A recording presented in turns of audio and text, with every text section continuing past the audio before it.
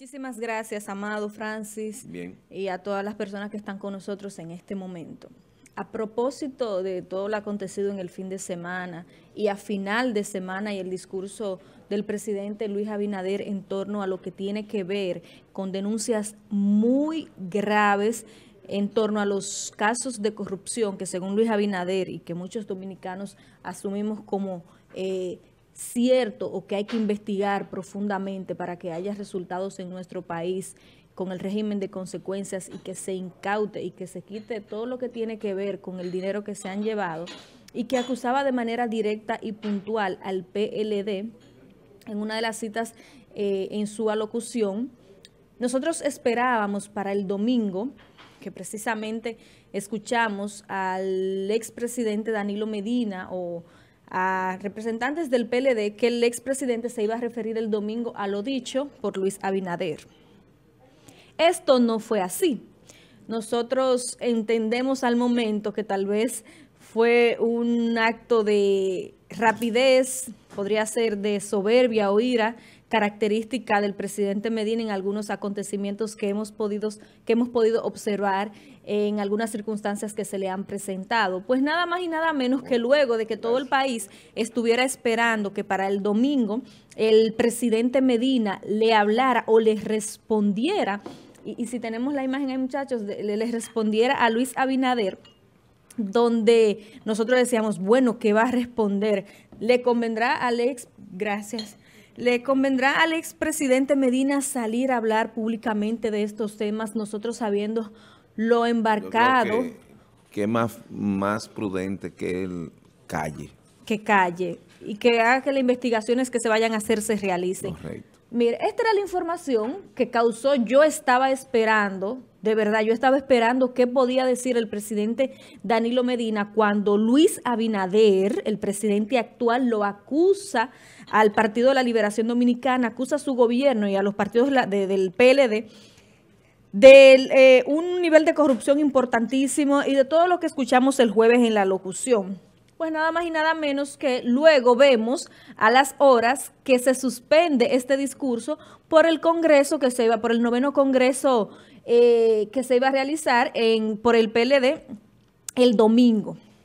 Presentamos algunas eh, cortes de la locución de este domingo en el Congreso. Hay uno en específico donde el presidente Medina, o sea, hago un recuento de lo que pasó desde el jueves, a locución del presidente Luis Abinader. Inmediatamente salen los peledeístas de que Danilo Medina responderá. Luego se echan para atrás y tenemos para el domingo el Congreso muy concurrido, debo decir, según ellos, a un 85%. Vemos que estaba eh, pues casi lleno el, lugar donde se realizó hay una locución del presidente Medina, eh, participó eh, Cristina Lizardo, Temístocles Montá, vimos a José La Luz por allá, Margarita Cedeño de Fernández, eh, el señor Reinaldo, Reinaldo Pared Pérez desde su casa por las condiciones de salud que tiene. Y el presidente Medina hace referencia a un partido renovado, a un partido que está trabajando o que tiene todo de frente para cambiar y reconoce que lo han hecho mal. Y cuando el, el expresidente habla de renovación, y yo viéndolo a él mismo, viendo a Temístocles Montá, viendo a Lizardo, viendo al señor Reinaldo Párez Pérez, o sea, yo digo, ¿dónde está la renovación del partido? O sea, ¿cuáles son, eh, cuando se habla de renovación, se habla de nuevas cosas, de nuevos cambios, de nuevas imágenes, eh, figuras políticas que refresquen y limpien un poco eh, lo tan quemada y dañada que está la, la figura de cada uno de ellos? Vamos a poner esa locución del presidente Medina, ese corte. Un PLD renovado, rejuvenecido y listo para dar la batalla. Porque en cada provincia y en cada pueblo hay obras que nadie podrá esconder ni minimizar, porque están ahí a la vista de todos. En el año 2024, este partido volverá a ser gobierno en la República Dominicana. Los PLDistas hemos entendido el mensaje que el pueblo dominicano nos envió el pasado 5 de julio. Luego poner todo el empeño posible para que el noveno Congreso Ordinario, José Joaquín Vido Medina, resulte... Para escuchar a Temístocles Montá decir, o sea, estamos hablando de Temístocles Montá. Ustedes recuerdan todo el proceso reciente, si se quiere, que vivimos con este señor, que es quien admite que recibió dinero de Odebrecht para sustentar las campañas del PLD. Hay que recordar que este señor fue llevado a la justicia, que estuvo preso, luego eh, prisión domiciliaria y demás. Y salió muy airoso, muy contento, haciendo eh, muestras de risa y si se quiere hasta de burla a la prensa y a todos los que estaban en esos procesos. Como que no era nada. Con un archivo provisional que luego Jan Alain Rodríguez se encargó de hacerlo definitivo.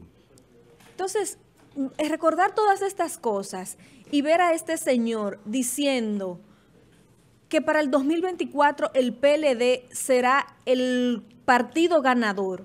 No es que haya algo en contra del partido en sí, es de quienes lo representan. ¿Qué calidad moral tiene un señor como Temístocles Montán? Yo quiero que alguien me diga. Tenemos a un señor Gonzalo Castillo, que no habló, por supuesto, pero estuvo participando por allá. Eh, como figuras principales, estoy citando a los principales, y yo pregunto, o sea, ¿dónde está la renovación? ¿Dónde está e-, ese cambio interno de ese partido que nosotros esperamos que quienes trabajamos y auguramos que necesitábamos un cambio en la República Dominicana, que este cambio, si no funciona como lo pide a gritos y como se demuestra en cada acto que sucede en el día a día, nosotros no podamos volver a un PLD como habla Danilo Medina de renovación, de cambio y de que el pueblo le dijo, le dio el mensaje y que ellos necesitan cambiar para el nuevo proceso electoral. O sea, pasar de lo que tenemos y volver a un PLD como según plantea Danilo Medina, pero con las mismas figuras, yo realmente no entiendo, como que no puedo ver la lógica de todo esto. Me hablas de cambio, pero somos lo mismo que estamos acá. Yo soy que doy el discurso, Cristina Lizardo, que tiene toda la vida eh, cuando fue presidenta, siendo legisladora, el mismo Temo, el Reinaldo, o sea, las mismas figuras. Entonces, ante todo esto, yo espero que nosotros no necesitemos y que no se dé, y depende del gobierno actual, y de los demás partidos emergentes, que hasta que no se sanee y que la institucionalidad y el régimen de consecuencias y todo lo instaurado que de alguna forma poco a poco creo que se está desmantelando en nuestro país, fortaleciendo la institucionalidad, nosotros teniendo justicia independiente, teniendo gente en instituciones puntuales, como hablar de compras y contrataciones, por ejemplo, hablar de ética, hablar de la Cámara de Cuentas, que aún el cargo no está en manos de un ex, eh, de un funcionario del PLD, pero que se supone que habrá alguien que los represente como debe de ser. Cierro diciendo este comentario, Francis. O sea, que lo que se está haciendo es para nosotros ir encaminando a este país por lo correcto. Por lo correcto. Usted se imagina el PLD con un Danilo Medina de frente y hablando de todos estos cambios, pero ellos siendo lo mismo en el Congreso. ¿Qué ibas a decir, Francis?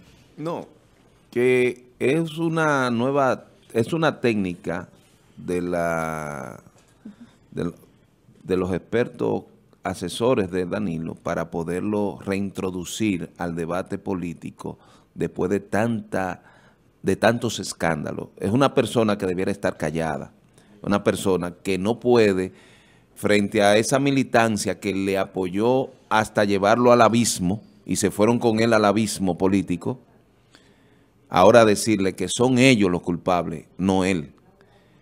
Todo ese diseño del grupo no político que se engrampó en el PLD lo acabó. Así es. Y ahora pretenden ellos también de que supuestamente levantarlo, que reaccione el PLDista. José Laluz tenía razón en todo lo que dijo. José Laluz tiene razón en todo lo que dijo. No, son caras duras. Mira a Danilo como con su cara graciosa atacando a, su propia militancia, diciéndole que ellos son los culpables y que ahora reconoce eh, lo que pasó. Vamos a ver esta llamadita. Buenos días. buenos días. Sí, buenos días, Nancy. Buenos días, Amado. Buenos Buen días. día, Lara. Buenos días, Carolina. Buenos días, ¿cómo estás, Lara? Mira, no es por lo que diga Francis ni que por lo que diga Carolina que el PLD tiene que callarse. Que el PLD tiene que callarse. Eso es mentira. El PLD es una, la segunda fuerza política más, más fuerte. Fuerza del pueblo es en el Congreso, no sé si a dónde. Baja, la televisión, Lara. Lara, Lara, ba- baja la televisión porque hay un, hay un Un retorno. feedback. Sí, Oiga, gracias. oiga, lo que le voy a decir.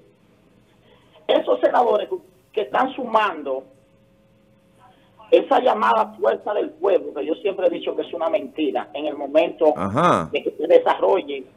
Oye, Mentira. oye, Francis, espérate. Es una mentira en el momento que se desarrolle el debate político. Ajá. A Leonel Fernández tú lo sigues subestimando. Oye, oye, Francis, A Leonel Fernández, tú que te serviste también de, de él. escucha, Ustedes lo que son unos malagradecidos todos. escucha. Leonel, Sí, ustedes le oye, deben todo a Leonel. El propio Danilo Oye, le debe no, no le haber sido presidente. Un individuo que no tiene nivel de liderazgo, que ahora míralo ahí, el liderazgo Mi hijo, de 32 a 4. Vamos a oír a Lara, vamos a oír a Lara. Lara, vamos a Pero ver, respeta a adelante. Leonel por lo menos. Que usted, Clara. usted- eh, Leonel merece un poquito de Francis, respeto tuyo. Vamos a oír a Lara, vamos a oír a Lara, Lara. adelante. Con Lara. respeto siempre, Lara. Vamos a ver, vamos a escucharte. Francis, Da tu punto de vista y no toque a Leonel porque no te va a Déjalo, bien. déjalo hablar, Francis, Pero, por ¿qué es favor. esto? Francis, Lara. Tómate la, pastillita, Francis. Francis, no. adelante, Lara. Cuando tú hablas de esa manera, me la escondiste la patilla. es, que, es que no, oye, espérate, mi hijo. Ay, Dios, está bien, habla, excusa. Tú perteneces a un partido, Ahí va. tú perteneces a un partido que no es el PLD ni la Fuerza del Pueblo. Y Y siento. tú no defiendes ese Claro. partido porque, ese- porque, oye, tú tú lo que significa es una persona que no se sabe manejar eh, eh, eh, como persona, como i- en, ideo- en ideología.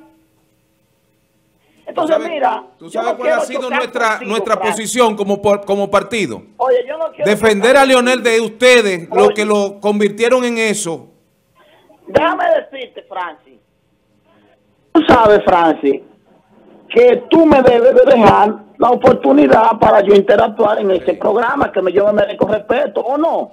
Adelante, Lara, haz tu Tú comentario. tienes mucho tiempo, de, de tres horas ahí, de candaletear, de, de expresar tu punto de vista. Déjame hablar dos minutos, un minuto, por favor. Adelante, haz el comentario, Lara. Redondea, Lara, que Mira, estamos contra el tiempo ya. Yo lo que siempre he dicho, que el PLD, Carolina, no tuvo que hablar lo que dijo en principio, él podía cambiar de estrategia.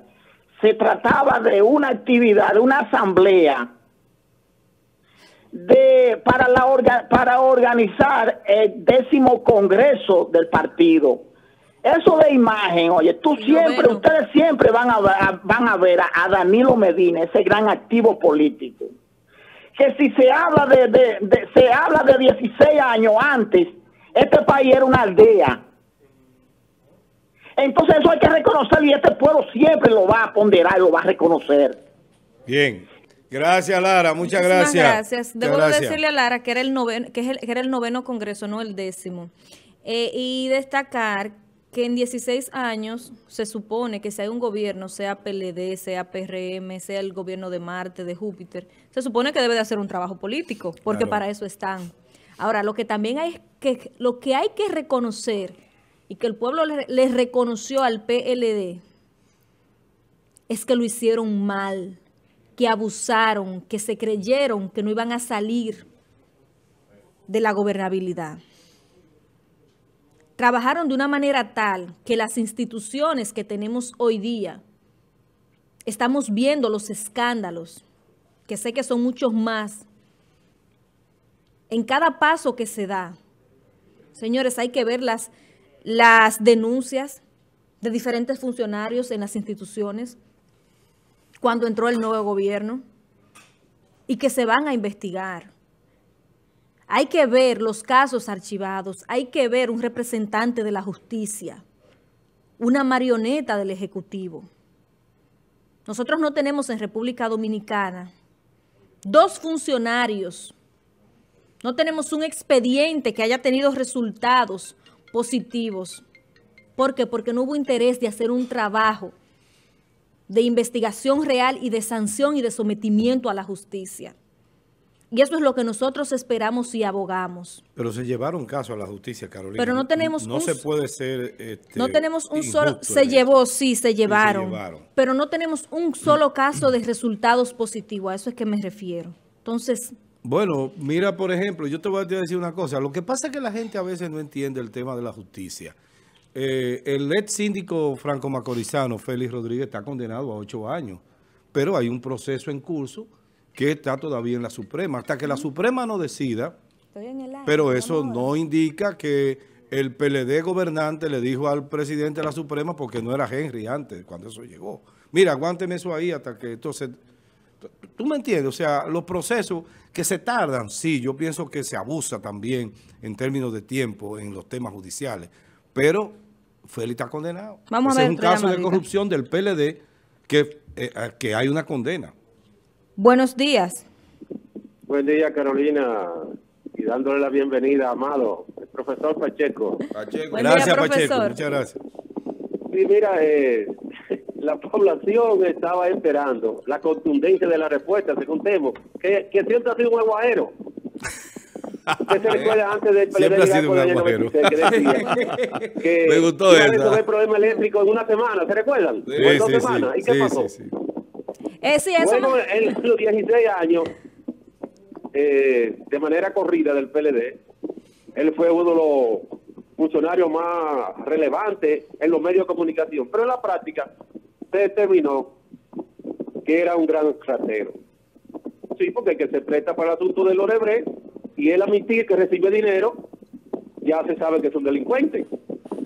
Ahora bien, ayer yo sinceramente eh, no es muy dado en mí decir, sentir pena por un humano, y menos por un político. Pero Danilo Medina me pareció un loro matado al cobazo. Porque parece que ya el salón él no lo quiere pagar como lo pagaba anteriormente. ¿Lo Sí, qué? todavía se ha presentado. ¿Lo qué? ¿Que no quería pagar? yaca, yo no lo veía. No se oyó. ¿Qué, qué es lo que no quería pagar, Pacheco? Carolina. Porque si Se está cortando, Pacheco. Pacheco se está cortando. Bueno, parece que se... se- se- Qué mal, Pacheco, no podemos escuchar Se- bien la llamada. Llámanos Miren. adelante. Cierro diciendo, Ajá, Amado, ya para cerrar el comentario, para terminar el comentario. Lo que es que, llama mucho la atención, hablar de renovación, hablar de cambio, cuando tenemos las mismas figuras. O sea, ¿qué cambio tú puedes tener cuando no hay movilidad de figuras de un partido, de una organización, de una institución? O sea, el pensamiento continúa siendo el mismo. A propósito, como dice Pacheco y como iniciaba en el comentario, el presidente Medina iba a hablar, el, el expresidente Medina iba a hablar el domingo, ayer. Ahora es el martes y yo estoy muy ansiosa por saber qué va a referir. Y ciertamente, como dice, como cerró diciendo eh, Danilo Medina, ¿hay grandes logros de un partido? Yo no sé si lo hay, lo que yo sé es que hay sí, muchos casos. Carolina, por Dios. Lo que sí, lo que, lo que sí sé es que hay, Amado. Hay muchos logros del PLD. Lo que sí sé que hay es muchos escándalos Sí, también. hay muchos escándalos de corrupción, Entonces- pero hay muchos logros, Entonces, Carolina. yo No se quiero, puede- No se puede llegar a ese nivel de lo que sí quiero es, tapar el sol con un dedo Lo que por pasa tu- que el gobierno de Danilo tapó todo. No, no, en- no, en el contexto no. en que lo que digo. No, no, no. en el contexto en que lo digo, cosas es que sí sé que hay, que hay muchos escándalos y hay muchas situaciones. Que un partido, como él quiere vender o como vendieron, de que habrá renovación y que habrá cambio, con esas figuras, no serán algo diferente para el 2024. Y así yo no quisiera tener a un partido que busque llegar nuevamente al gobierno, como dominicana lo digo. Por último, eh, quería poner lo que pasó, pero ya no, no nos dará el tiempo. Lo avergonzoso, lo vergonzoso que es y que estamos viendo en diferentes Vamos a puntos del país. colocarlo en otro de los temas, en Sí. el mío puede ser, no hay problema. Perfecto, muchísimas gracias.